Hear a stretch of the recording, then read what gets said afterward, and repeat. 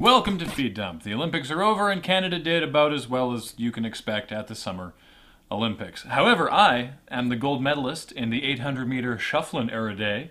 Joining me this week is the gold medalist in the 100 meter trip and fall, Our dental coverage is second to none. and gold medalist in the caring more about the Winter Olympics than the Summer Olympics. The hell is dressage? And I want to invent a new sport involving going down a water slide in tubes. A Delta Airlines flight from Pittsburgh to New York had to be delayed because it was covered in bees. 25 to 30,000 bees. How did they count that? I don't know. How did they count that? I don't know. How do you count bees? From a long, long way away. Those bees better be careful. Delta does not have the best track record with keeping animals alive. Well, they're safe in this instance because it is actually illegal to kill bees in the US. That's also the one job the WASP Special Commando Unit won't take. What's the WASP Special Commando Unit? I just made that up now. It's a bunch of wasps with sniper rifles. After a recent warehouse theft in France, the French police have recovered $1.2 million worth of. What's that worth in. I think it's about three. Both of you can go to hell.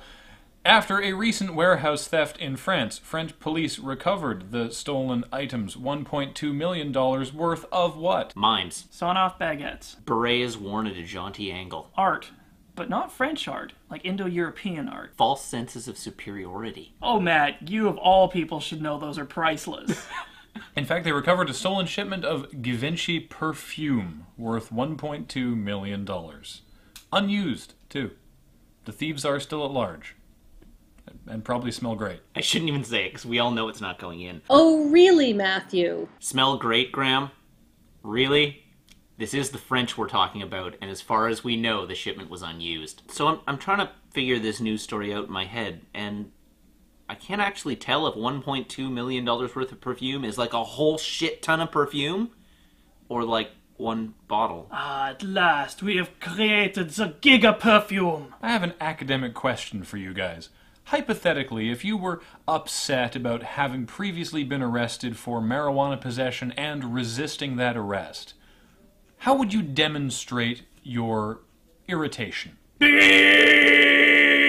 Bees! I would probably sit inside and think about what I'd done. What a pedestrian way to express yourself, Matt. Pedestrian, maybe, but sitting inside and thinking about what you've done, certainly more reasoned than what a man in Vermont did when he took his tractor and used it like a monster truck to roll over seven police cars, and then tried to roll over two officers. Dude resists arrest with style. Sort of half expecting him to have gotten the munchies so hard that he just ate the cops. Sunday at the Civic Center. Come watch Resistor totally crush seven police cars. It would be criminal of you to miss it. And I'm the one that gets banned for bad puns? Oh, no. No, don't do it, man. Don't. No, no, don't do it. Oh, he's gonna do it. No, he's, he can't do it. That's. He- he's gonna do it. Oh, Nick, oh, Aw. come on! What?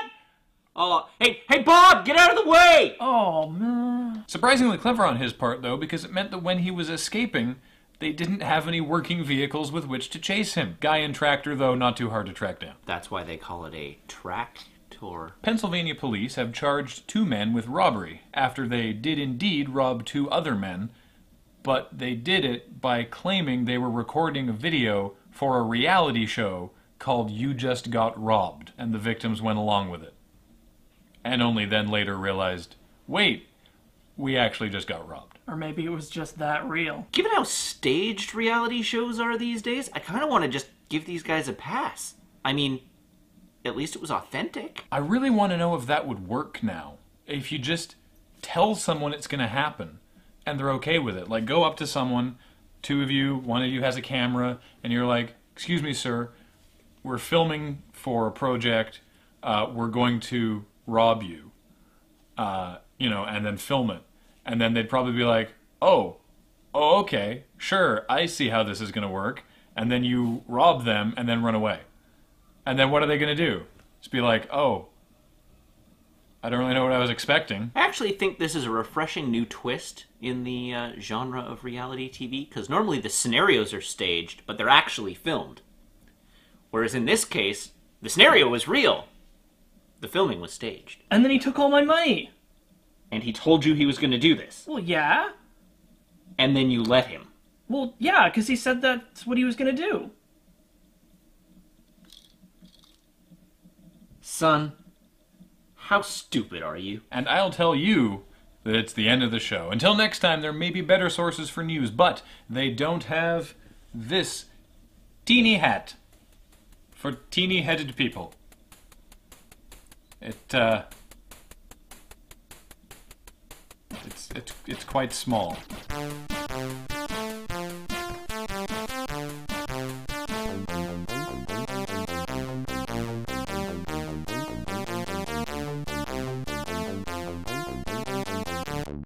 And then he just took my money.